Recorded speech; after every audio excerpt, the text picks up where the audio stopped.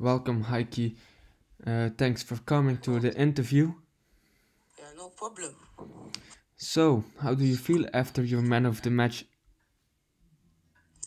Well, I felt good because I got the I got the win for my team, of course, and because like because of all of this, now I think our team is like we're growing more confidence.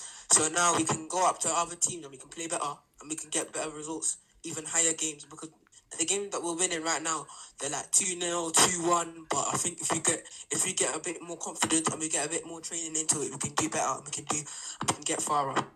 Okay, so uh, is there anything you would like to change into the team, or?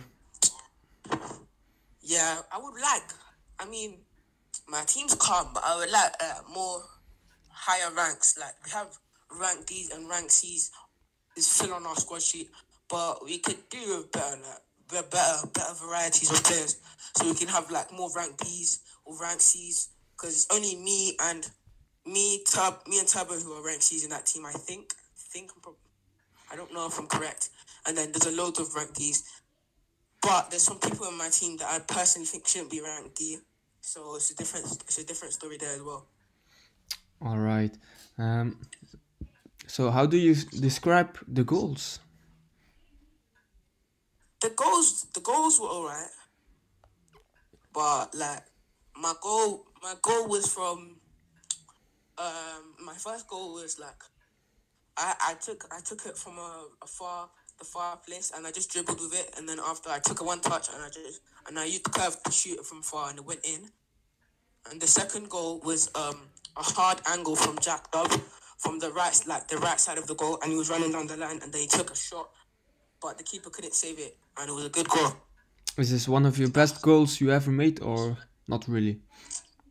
Nah, not really, but I could I could done I could have done way but I did another goal. I did another goal. It was three one. I mean three 0 but um it got disallowed I think because I was a bit offside. And would would you like to mention anyone? Like did you score the goals for anyone special or was it just like this is for the team? Yeah, no, this is for the team. All for the team. I mean, I could go. I could try. I could try solo one v one everyone, but that's just boring because uh, I could try. I could try. I'm not saying I could, but I could try, and I could. and It would just be boring, like because I can. I know I can. I can. I know I, sometimes I can do it, but sometimes I can't. So I just pass it around.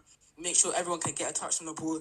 Nobody feels feels left out. Everybody gets a sub. Everybody everybody goes off if we need to, and we just get like like a personality in the team. Like we, we get everyone we get everyone going and everything. So how excited are you for your next match? How how do you train for something like this? We keep we keep like we came we come with each other and we come and we find and we organize stuff and for what we need to do, we organize what we need to do. What the other teams like, what's their what's their build up play like, what's everything out like, and then we do our outline, we do our research, and then after we come together and we fix we fix it all. Thank you, Hikey, and see you next time. Yeah, bye.